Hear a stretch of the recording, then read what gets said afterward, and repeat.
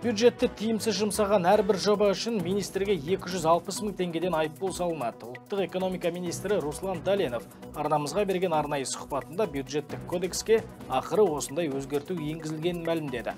Әзірге министрлік есеп комитетінің 2019 жылға жасаған аудиттік тексеруінің қорытындысын күтіп отыр.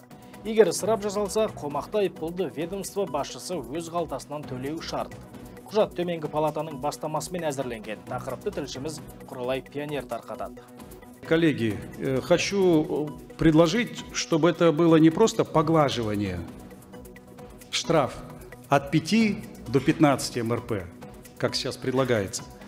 Надо, чтобы была более ощутимая сумма, определяющая ответственность первого руководителя. Дәл осылай деп былтыр қазандағы мәжіліс жиынында спикер нұрлан нығматулин үкіметке талап қойып судың да сұрауы барын ескерткен еді. Енді міне араға бес ай салып мәжілісмендердің ұсынысы қабылданып бюджеттік және әкімшілік жауапкершілік кодексіне өзгерту енгізіліп отыр. Сумма штрафа составляет 100 МРП. айыппұл сомасы 100 айлық есептік көрсеткішті құрайды. Бұл 260 мың теңге. Егер бірнеше тәртіп бұзушылық болса айыппұл да еселенеді. 5 жоба орындалмаса жеке жеке 260 мың теңгеден төленеді. Тексеруді есеп комитеті жүргізеді. Соның нәтижесінде іс сотта қаралады. Руслан дәленов айыппұл төлеуге мұнда министрлерден өзге әкімдермен қатар ұлттық компанияның басшылары да міндетті болатынын айтады. Яғни бюджетке алақан жаятын құрылымның бәрінің де есебі майшаммен қаралады.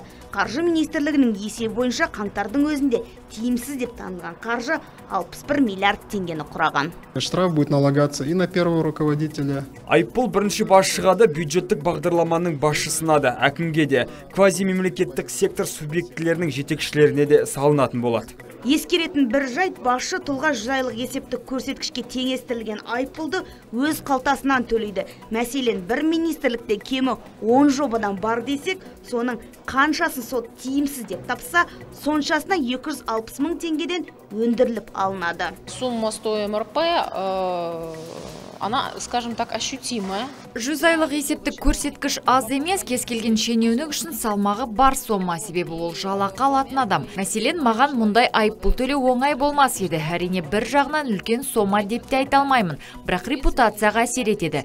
Тіпті оның мемлекеттік қызметкер ретіндегі лауазымы да өспеуі мүмкін. Бюджеттік қаржыға сұраныс бар екен соған жауапкершілік бар екенін білу керек.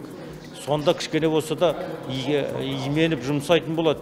Немесе жаңағы сол ақшаның тиімді барғанын талап ететін болады ал біз қазір сол әкімнен де сол министрден де ешкімнен де сұрай алмаймыз егер қол астындағы жобалардан шикілік шықса 260 мың теңгеден айыппұл төлеуге мәжбүр болатын министрлердің өздері де естіген естідім әрине қолдаймыз Готов, готов. Я, я всегда за то, чтобы эффективно и э, использовать бюджетные средства.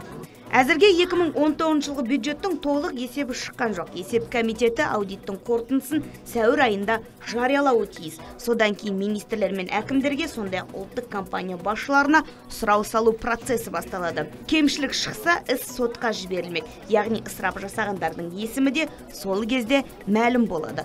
Құралай пионер виктор джеггерс атамекен бизнес арнасы.